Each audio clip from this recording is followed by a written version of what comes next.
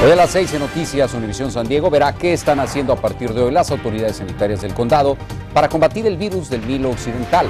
Además tendremos la información más reciente que se genera en Boston acerca del atentado terrorista en el que han muerto varias personas y casi 170 resultaron heridas.